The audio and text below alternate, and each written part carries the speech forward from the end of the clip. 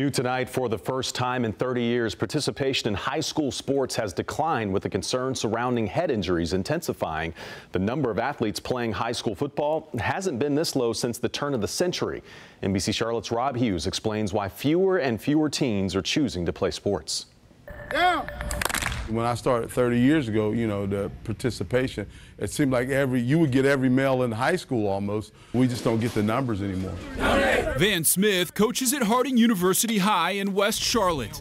His experience backing up the findings of the National Federation of State High School Associations. A lot of parents are worried about the concussion. High school sports participation is down for the first time in three decades, with football leading the way after seeing decline for the fifth year in a row.